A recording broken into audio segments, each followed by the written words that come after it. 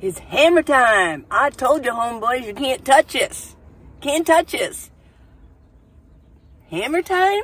No, it's budget time. I got my budget here for March. And we're going to talk about money. Money's on everybody's mind right now. Prices are going crazy.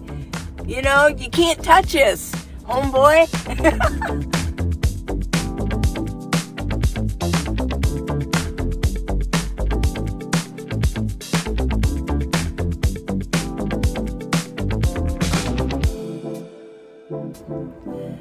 budget time. It's not hammer time, it's budget time, okay? Right on, homeboy. Okay, homegirls. Okay, I did make you coffee, so here you go. Yeah. Um, this is maple pecan um, ground coffee I got at Walmart, uh, Starbucks brand. Cheers. It's really good. Well, I cannot believe that somebody asked me a question today. And I found it from yesterday's video. If you didn't see yesterday's videos about living rent-free um, or mortgage-free, so I'll put it at the end of this video. So don't go now and look at it, but I'll put this at the end of the video, at this one, so that I'll link it so you can go ahead and go watch that. Um, but Marty Evans asked, and she said, home insurance is skyrocketing, is it? Yeah. but reportedly so is car insurance and all vehicle related expenses. Would you be willing to once again do a breakdown of current monthly expenses, even though you did it not too long ago? Oh my goodness. I can really, I was kind of surprised because um, I had everything all ready to go. This is what I was going to do today. It's about um, your budget and keeping your expenses down, living the nomad life. And I'm telling you what, there are a lot of people talking about money, screaming about money. Everything has gone skyrocketed over the past, excuse me, uh, coffees, coffee burps, okay? Sorry. okay. Um, at, over the past three, four years, things went nuts, didn't they? I mean, gas prices, food prices.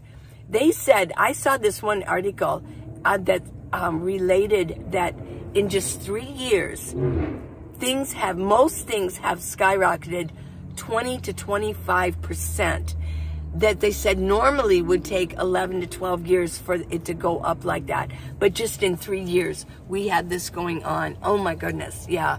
Um, you know, we all just need to chill. we got to chill because of these prices. So I'm going to talk about this. Now, my purpose is to teach y'all how to live in your vehicle. I have a book out. It's on Amazon.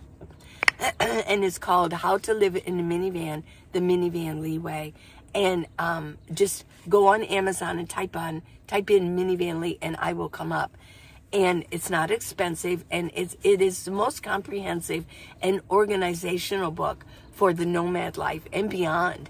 And it's not just for minivans, it's for SUVs, um, all kinds of vans, all kinds of vehicles, even sedans. I'm still dealing with a little bit of phlegm and a little bit of a cough, so bear with me on this. Um, my throat's just a little bit more scratchy, but I feel fine. I mean, I, am fine. Um, no fever, no, nothing like that. Just a little bit of a um, cough and some phlegm going on. It feels like it's going to be like by tomorrow. And that's the way my grandson was. He just didn't feel good one day. Next day, he kind of was okay. And then he was fine after that. So I like to teach people how to live in a minivan like I do, which I have done for seven years. I started this lifestyle because I wanted to do it. It just seemed so fun. It's a small space. It's, it's decorated nice. Um, I've got my pet um, flower, Mellow Yellow, right here. Let me introduce you. It's really the only decoration I had. That's why I kind of like feature it. My yellow flower. Um, and I think it does go well with the turquoise, don't you think? And the purple? Come on now. It Kind of sticks out there, doesn't it? But what I try to do is decorate my little home, um, my wonderful home, my little pod, my clubhouse, and I like to um, splash color all over and put color everywhere. And that way, um, unless this, I got this over here because it doesn't bother me right here. If it was over here, it would bother me. It'd be in my way. Right here, it's not in my way. I found that this is the only true place that I can put something that has no purpose whatsoever except to be pretty. So you just stay here and be pretty, okay?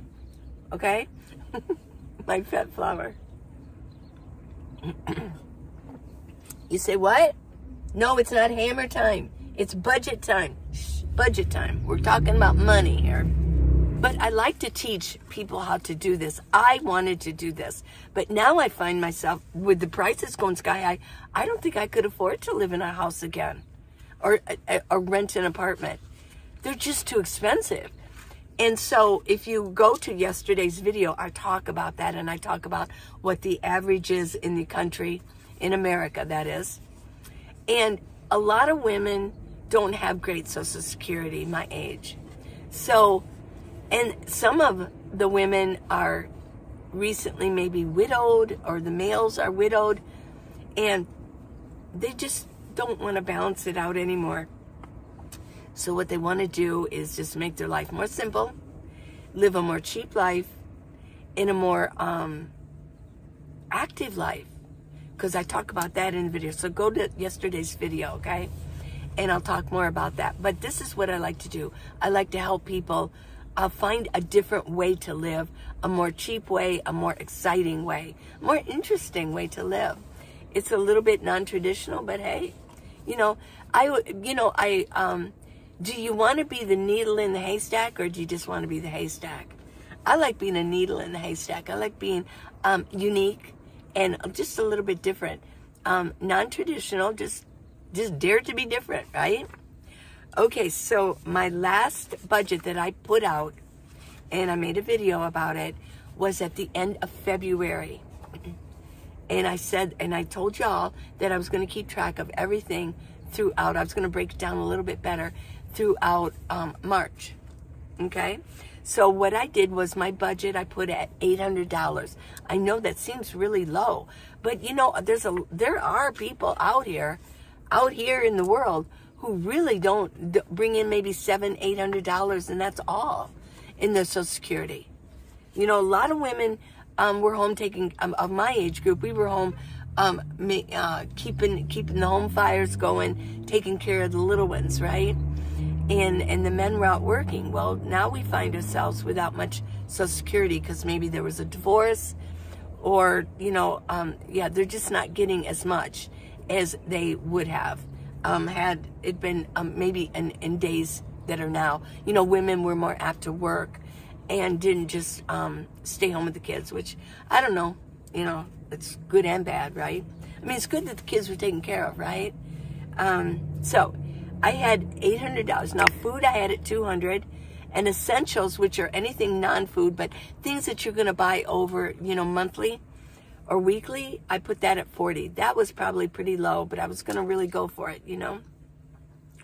Now, as far as the car goes, my insurance has not gone up. It's at $97. I probably should probably even get cheaper um, and look for it, but I'm, I'm, I'm too lazy to do it, it seems um, and I have full coverage. Now, the car wash at 12 a month, and then fuel, I think I have down here for 120, which is a little low. But I will mention on my new budget um, for um, for fuel, I did a, so far I've done 110.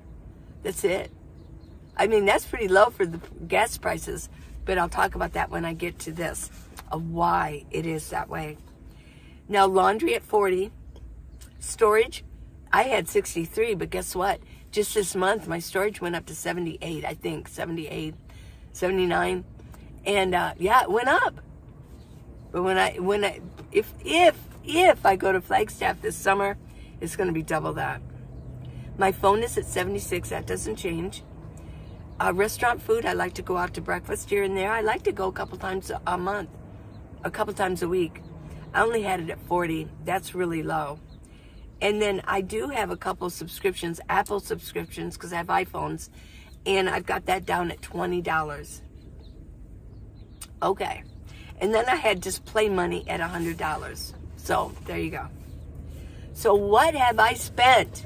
Let's let's look at this. I have spent, I put down for 200, I've spent 180. Now, what I did was $100 was produce. I wanted to break down to see what I was spending in produce, and it was approximately, I think it was like $97 for produce because I like to do the apples, I like to do avocados, and I, I like to, yeah, and get lettuce. Yeah, I mean, Exhibit A. yeah, Exhibit A. Okay. What is that, the apple? Okay, so, um, yeah, $100 for produce. I had no idea that I was buying that much produce. Onions, uh, lettuce, and I guess it's, it's going up in price. So there you go. And then uh, probably the rest of it, another $100 or $80 was basically like chicken. I kind of cut back on the cheese. Um, I'm just kind of tired of, of eating so much cheese. Once cheese gets in here, I mean, it's like, um, I can't stop eating it. I have low tolerance of staying away, low resistance, I guess I should say, of cheese. I love it. So the essentials were like paper towels, shampoo, and vitamins. And I put down 40, but I so far I've spent 60. Okay. Now, car insurance is 97 like I said. Every month it's 97 $12. I do go a couple times a month, wash my van, and it's 12 Fuel, I only spend 110 Now, how do I do that? I mean, how do I only spend $110? I probably spend less than some of you living in the city. Okay? If you're new to me here, I do not boondock. I haven't been boondocking this year at all. And there's not much boondocking around Tucson, Arizona. So I do like city life. I know Tucson very well. I know where I can park at night. I've got my favorite spots. And I know the city very well. I can navigate it. And I know it's available. So what I do is this season, this year, I kind of picked a little bit different area to be in. But I, I select all of my needs around I select all of my needs around um, the area that I that I like to be in, and so I look for like a laundromat close by, a car wash close by, a Walmart close by. What else? Um, things that I need. I have I have my senior center close by that I can eat lunch. Um, so you know I've got all of those needs right in one area, so I don't have to travel that far. My favorite restaurant is close by my Planet Fitness. Said there's a few Planet Fitnesses in Tucson. I picked one that was close to my area that I wanted to be in this year. So, here's another thing. One of the reasons I like to be in a city is I don't really like to travel too much anymore. I pick a city and I kind of spend the season there. And I pick Tucson in the winter because a lot of snowbirds come here and it's it's good weather. So it makes sense to me. Why do I want to travel? Because even like um, my letter said, gas prices going up, minivans prices are going up, repairs are going up. Okay, well, this is my home and I need this. So budget wise, it's it'd be crazy to be traveling so much right now. I a lot of my friends aren't traveling that much anymore. They're really not not like they were, you know, going to see this this um uh, national park and this national park. They're not doing it any anymore because it's just the prices. I mean, to replace your van, I know what that's like. That's a hassle because I did have to replace my last van with this one, and that was quite the feat, I must say, and the expense. And then repairs are out out of this world. So I don't like to put wear and tear on my minivan. I'm am I a nomad? Oh, you bet I am. I've had people say, "Well, you're not even you're a fake nomad." Well, I never. Hello? How insulting. Oh my gosh. No, I'm a nomad, okay? So knock it off, anybody who thinks that. I live in my minivan. Oh, and then if somebody accused me, oh, you don't really live in your minivan. You, you're living in a senior center or something. I think they, they, they thought maybe because I was, um, went, uh, because I belonged to a senior center that I was living there in some, yeah, it was like this housing or something. No, no, wrong. Uh, no, I live in my minivan. Anybody that knows me knows I live in my minivan. Um, and uh, I do have a storage, which I will continue on with this. Let me finish out the um, the car expense. My um, my total, I said 800. My total uh, so far is $928. So I did go over. But listen to this. Remember, I had to get my hatch door fixed. That was 160 some dollars, right? So that was that was not expected. I had to fix it. It was the actuator in my hatch door. Necessary to be fixed. Otherwise, how am I going to shut my door? So, so I wait. I went over $128, but I overspent on the 160 for the repair of the hatch door. So really, I I came. I had, I think it's like $60. Yeah, $40. Sorry. Okay. Onward. Laundry. I spent 38. Storage was 78. My phone, 76. Restaurants, I spent 68. I went a little over on that. Apple subscriptions was 22. And my gym was 27. Yeah, that's what I spent. It all came to $928. Okay? I mean, so if you have a decent, if you have a decent pension and um, uh, Social Security, you're going to do just fine. Just and I, I, allowed for going to restaurants, and I allowed for that stuff. You know, um, I didn't uh, purchase anything big. You know, I didn't like buy a new phone or didn't uh, make a large purchase, but that's what I spent, and I kept my expenses down the best I could. Another thing also is I did go to Ohio. I just got back. So for six days I was gone. Two of them were flying, and then four of them were at my daughter's and and she was feeding me, so um, I wasn't uh, spending money on um,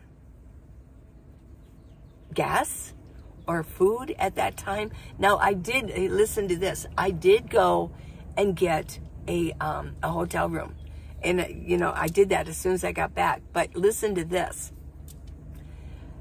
I use Expedia, and I put in that they were watching my flight expense with American Airlines. They found they that and when it all was said and done, they actually found a better price during all that time. That's how Expedia works. And the, and they actually refunded me $95. That's one of the reasons I went and got the hotel room. So that that isn't even any expense that I had to, to deal with. Yeah, and I waited for them and they did put it finally they refunded it to me and held it and so I, they, I put that towards a hotel room. You know, you can find little ways, you know, to save money and, uh, yeah. So I'm real happy with Expedia. I tried Travelocity, but it seemed like when I was comparing them, it seemed like there's, were giving me higher prices. So I do like Expedia. So that's my budget. You know, it's really concerning for me that I'm watching this nation struggle. So I don't know how families are doing it with children. Because how are you going to live in a van with a bunch of children? You'd have to have a large schooling, and those aren't cheap. You'd have to do major construction, build out. Yeah, they're they're not cheap. And the gas on it is yeah, and the insurance on it. Oh dear, yeah. You have to actually get RV insurance for it. It's not always easy. Yeah. So I have not noticed, I mean, my, my car insurance hasn't gone up. I have not looked to see what minivans are, you know, but um, uh, while I talk to you, I'm going to do this real quick and uh, go on um, Craigslist. Tucson. Let me look at this. Craigslist Tucson. And we'll see. I'm just looking at minivans. I'm looking at a Kia Sedona 2015. which is one year newer than mine. And they want $9,000. So, no, um, cash. And I would pay cash, $9,000. And it has a hundred and, um, $109,000 or miles. 109,000 miles, which, you know, isn't that bad. I think I bought mine at 95. It's in excellent condition.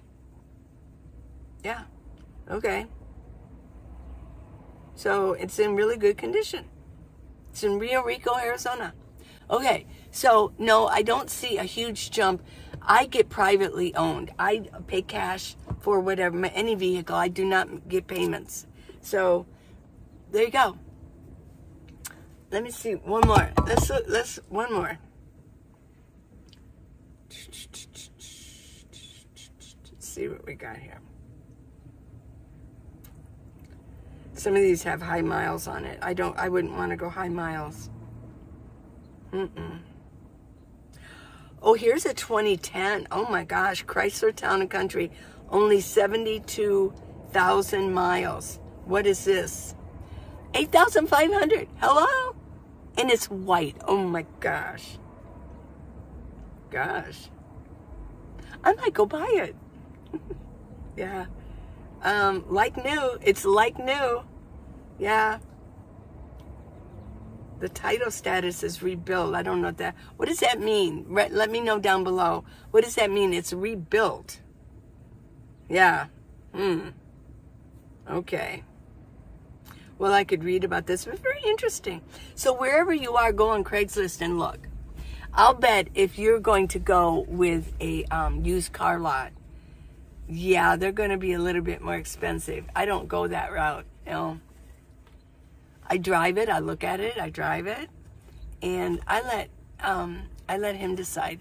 He usually leads me to what I need. Maybe he's led me to this one. He said, "Go ahead and look." Right? No, I like my minivan. It's still running very good. So, okay, everybody, this is my budget, and uh, start keeping track. Here's what I want you to do. Here's your best bet. Is um, my apple. This is a heavy apple, actually. Is get a notebook get a paper and pencil, actually get a notebook, and every time you spend something, write it down. That's what you have to do. Put it in a category. Make some categories and write down everything you spend. Or get a money app on your phone and categorize everything. That way, you have to know, you have to do what I did. You have to write down everything you spend, and then you can see where your money is going and see if there's any way to cut back. Um, and there you go there's my advice for you, okay? Okay, I will see you tomorrow. I'll have another really good subject for you. Yeah, we might want to talk about um, money for a while. And um, I think we're coming up to a season here where you might want to get going. I know a lot of my friends that are online and are, are getting their vehicles ready to go. They want to get going. Yeah. Okay, so go on minivanlee.com Please check your subscription. Make sure you're subscribed. If you're not, hit the button and uh, get the book on Amazon. How to Live in a Minivan, the Minivan Lee Way. Till tomorrow, everybody. I love you guys. Bye.